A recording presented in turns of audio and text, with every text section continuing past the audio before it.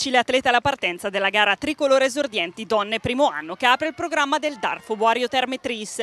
38 km e mezzo da affrontare per le atlete del primo anno in un percorso che da Corso Italia porta ad Esine da ripetere due volte con relativo passaggio sul dente di Erbanno. Un passaggio che dà la prima scossa alla gara che si accende con l'attacco di Chiara Parusso che fa la prima selezione. Il gruppo s'allunga e passa sfilacciato sotto il traguardo di Corso Italia per partire verso il secondo giro senza una trentina di atlete che staccate abbandonano il sogno tricolore. Si viaggia ancora verso Esine ma la selezione arriva esattamente dove era tanto attesa. Il campionato italiano esordienti primo anno si decide infatti sul dente di Erbanno. È di Aurora Mantovani della Busto Garolfo l'allungo decisivo. La numero 13 mette tra sé il gruppo quei metri di vantaggio che sembrano subito quelli buoni per poter festeggiare. Alle sue spalle il gruppo reagisce ma non riesce a ricucire, così la sua è una fuga solitaria verso il traguardo di Corso Italia dove arriva a braccia alzate. È lei la nuova campionessa italiana tra gli esordienti secondo anno che sul podio di Darfo Boario Terme eredita la maglia che lo scorso anno indossò Arianna Corino. Aurora Mantovani, quanto è bella questa maglia? Tanto. Una vittoria cercata sullo strappo di Urbano, hai fatto la differenza nell'ultima curva 10 metri e poi appena hai spianata la strada hai spinto a tutta e questa è una bella vittoria. Sì, eh, ci ho creduto eh, dall'inizio e ci sono riuscita. Senti, un gran finale, questo strappo è stato decisivo, già l'avevi visto al primo giro che poteva esserlo? Sì, fin dal primo giro sono riuscita a capire che ero una delle più forti, al secondo ci ho provato, ci ho creduto fino alla fine e ce l'ho fatta.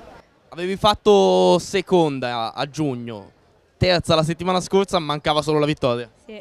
È arrivata nel giorno più bello? Sonia Rossetti, un secondo posto al campionato d'Italia, lo strappo di Urbano, la Mantovani vi ha anticipato, ha fatto il vuoto, è stato impossibile riprenderla. Eh sì, diciamo che lo strappo comunque era decisivo e lei è scattata, solo che non siamo riusciti a prenderle la ruota e alla fine ha insistito fino all'arrivo e poi è andata.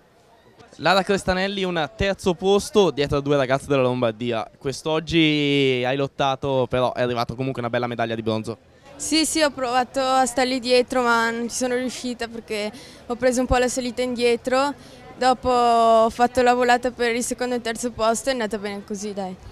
Bella soddisfazione comunque. Sì, perché arrivare terzo al campionato italiano, bella soddisfazione. La regina della gara esordienti secondo anno invece Laura Ruggeri. Sullo stesso tracciato della gara primo anno la portacolori del Villongo festeggia il titolo italiano dopo che Matilde Vitiello aveva provato con ottimi risultati ad allungare sul dente di Erbanno.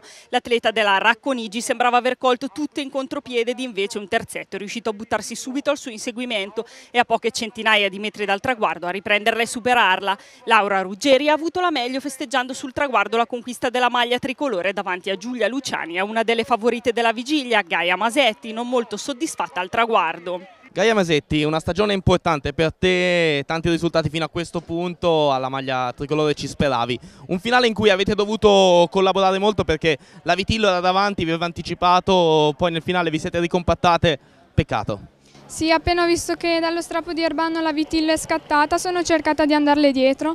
L'ho presa agli ultimi 500 metri, poi dopo ho chiesto, quando stavamo andando dietro la vitilla, ho chiesto i cambi ma non, non collaboravano e ho riposato un attimo e poi sono partita, ma non c'è stato niente da fare.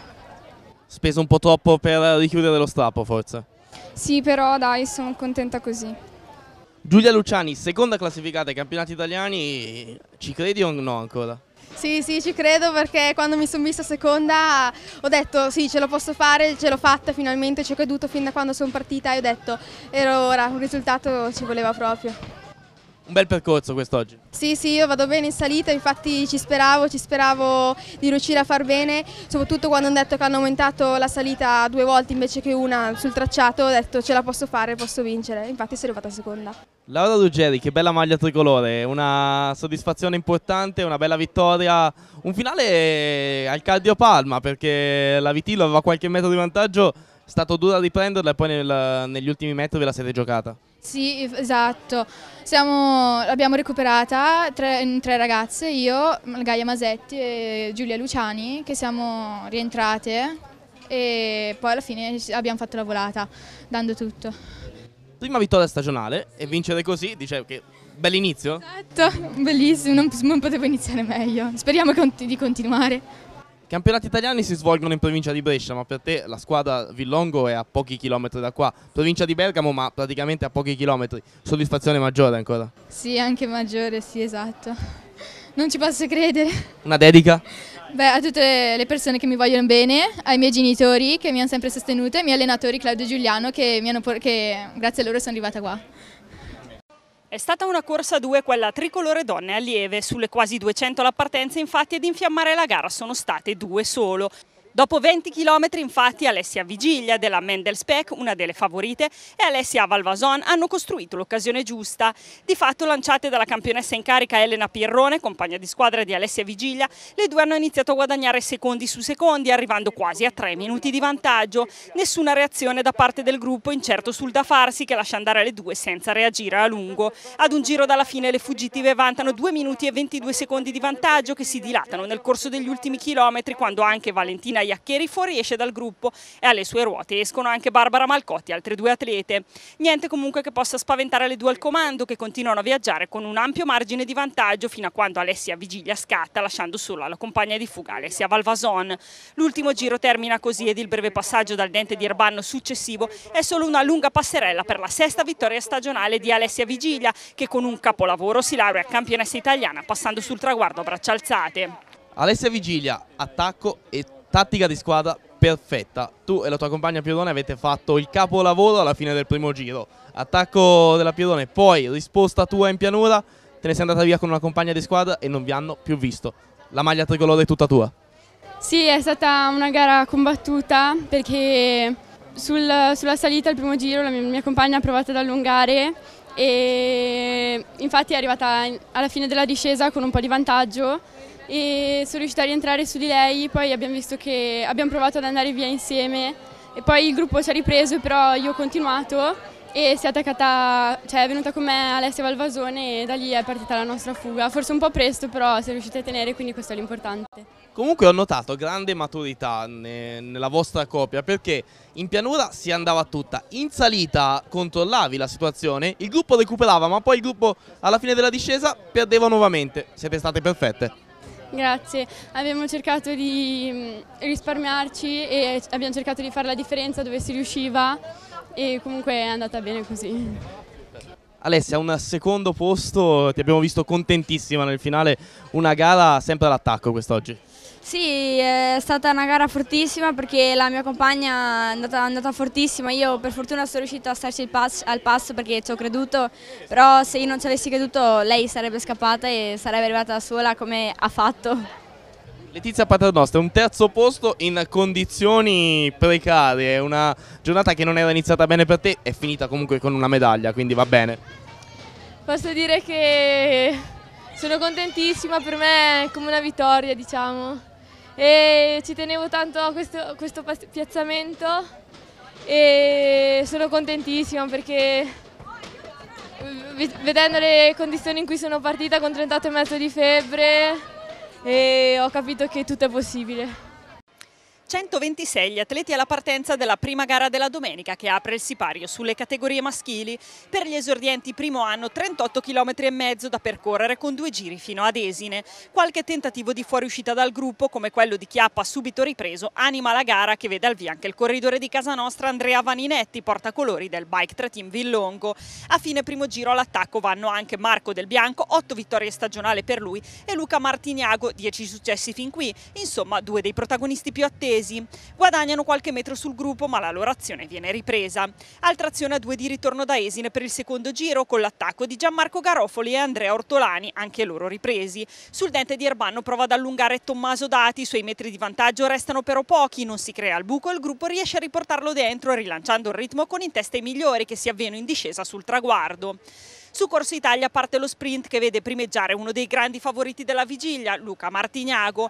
È il corridore veneto col dorsale numero 44 a far valere le sue doti centrando l'undicesima vittoria stagionale, quella tricolore, regolando il suo grande avversario Francesco Calì che deve fare i conti col salto della catena a 400 metri mancando il dodicesimo successo stagionale e fermandosi al comunque prestigiosissimo argento italiano. Luca Martignago, attivo sin dalle prime fasi di gara, la volevi veramente questa maglia? Sì, io con i ragazzi del Veneto già da ieri sera avevamo preparato un attacco e poi sapevo che se venivamo riassorbiti eh, andavo molto bene anche in volata e quindi me la sono giocata fino all'ultimo stringendo i denti anche in salita e poi... A chi la dedichiamo questa maglia? Beh, questa maglia sicuramente ai miei direttori sportivi, ai miei compagni che ieri mi hanno fatto rimanere tranquilli, ovviamente al presidente che senza di lui questa squadra non potrebbe esistere. Francesco Calì alla vigilia era, si sapeva che sarebbe stata una sfida tra te e Martignago, insomma un po' i più attesi. Tu avevi 11 vittorie e lui 10, adesso ti ha raggiunto, ne ha 11 anche lui. Sì, oggi mi è riuscito a raggiungere, sono stato condizionato da un piccolo problema meccanico all'ultima curva, però sono contentissimo anche perché è un po' di italiano con tutti i migliori e sono contento. Lorenzo Peschi, la tattica della vostra squadra è stata perfetta, l'attacco di Tommaso Dati in salita e poi tu che hai provato a fare la volata. Nel finale però te la sei giocata con due dei più forti d'Italia. Sì, sì, me la sono giocata con due dei più grandi eh, corridori comunque esordienti primo anno italiani e mh, mm, è stata perfetta, sì già detto la tattica della Toscana, l'unico rammarico è che son, non sono riuscito a affrontare la salita nelle prime posizioni quindi ho dovuto recuperare fino qua alla fine, poi la volata sono stato un attimo chiuso e ero rimonta però non sono non riuscito a fare di più.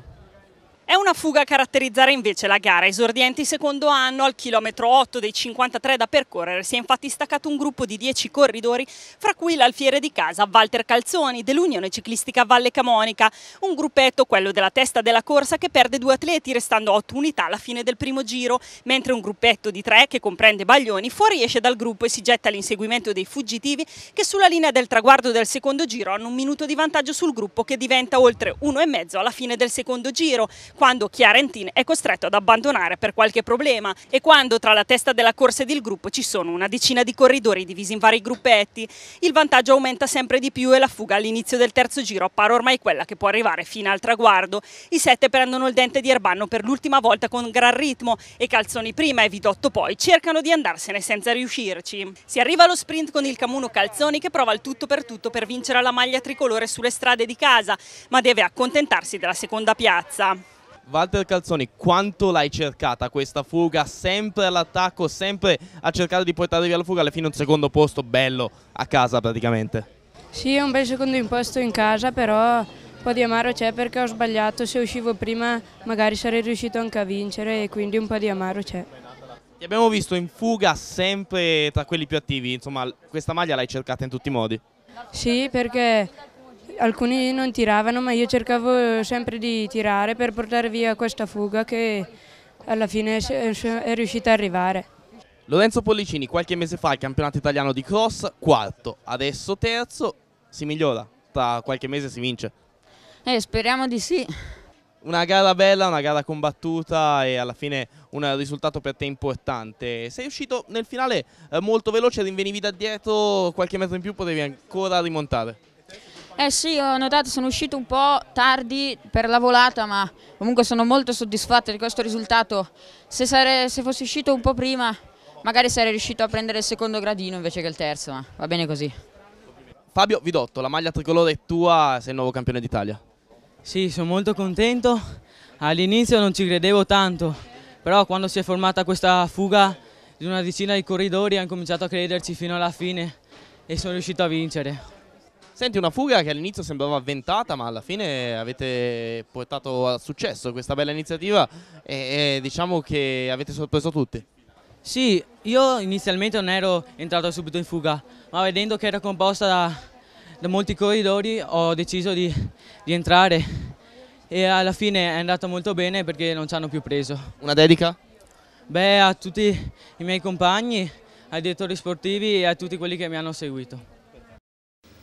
140 i pretendenti alla maglia tricolore allievi, gara che chiude la rassegna tricolore di Darfo Buario Terme, 82,5 km da percorrere con 4 giri nel circuito fino ad Esine e poi il doppio strappo di Erbanno. La gara è subito veloce ed animata da scatti e controscatti, il più importante del quali al chilometro 20, quello di Mattali ed Eredità. La coppia al comando guadagna qualche prezioso secondo ma viene ripresa attorno al quarantesimo chilometro che segna il passaggio alla metà gara. Scatti e controscatti continuano fino a quello convintissimo di Andrea Bagioli. Tra il terzo e il quarto giro il corridore lombardo del pedale senaghese guadagna sul gruppo oltre 40 secondi e con 44 si presenta ai 22 km all'arrivo che diventano 1 minuto e 10 all'ingresso di Piamborno fino a toccare l'1.20 quando un gruppo di 5 corridori fuoriesce dal gruppo e si avvicina ai battistrada con cambi regolari. Una caduta però a Piamborno di ritorno verso Darfo rallenta l'azione degli inseguitori mentre Bagioli continua a correre una vera e propria cronometro con un vantaggio che a 14 km dall'arrivo viaggia sull'1,40. Gli ultimi passaggi nel circuito breve di Darfo Boario Terme sono una passerella per il corridore del pedale senaghese che nessuno riesce più ad avvicinare, che si presenta al traguardo a braccia alzate centrando la sesta vittoria stagionale con quasi un minuto sugli inseguitori. Andrea Bagioli è arrivata a questa maglia tricolore 25 km da solo. In 25 km ne passano tanti di pensieri per la testa, all'inizio magari c'è un po' di paura e poi negli ultimi chilometri arriva la convinzione di avercela fatta. Sì, era un'azione programmata, così sullo strappo di Erbano sono partito e eh, sapevo che era un rischio partire da solo, così ho spinto fino all'ultimo anche se nessuno mi è stato dietro e poi alla fine ce l'ho fatta una cavalcata, una lunga cavalcata, tu che vai abbastanza bene anche a cronometro, per te un secondo posto contro il tempo quest'anno, insomma oggi hai fatto un po' di pratica anche per l'attività della cronometro. Eh sì, questo è un buon allenamento e basta. Senti, una dedica per questa maglia? La dedico a tutta la squadra che in questi tre giorni è stata fantastica, ai miei familiari e alla mia amica Martina. Filippo Zana abbonato al secondo posto ai campionati italiani in questa stagione già il secondo, secondo posto ad un campionato italiano insomma eh, questa maglia tricolore non vuole arrivare ma così sembra però dai sono contento di essere già arrivato così perché all'inizio della gara di oggi non mi sentivo proprio bene quindi non mi aspettavo questo secondo posto poi alla fine ho tentato è andata bene dai devo fare i complimenti a Bagioli perché è andato come un treno e complimenti a lui se la merita questa maglia. Luca Colnaghi, un terzo posto, però ti lascia felice per il successo di un compagno di rappresentativa eh, che vince la maglia tricolore e anche tu attivo dal primo all'ultimo chilometro, una gara a tutta anche la tua. Sì, ho cercato già dai primi giri a tentare di entrare in una fuga, non è arrivata, poi è andato via Bagioli dietro dalla Lombardia, abbiamo protetto bene, abbiamo potuto uscire solo all'ultimo e è andata bene. Senti, io ho interpretato un po' la vostra tattica, attaccare, cercare la fuga, far lavorare gli altri, se il gruppo torna compatto ci pensa Gazzolo in volata, vero? Sì, diciamo che era un po' questa la tattica e è andata abbastanza bene, dai, ci è andata bene, molto bene.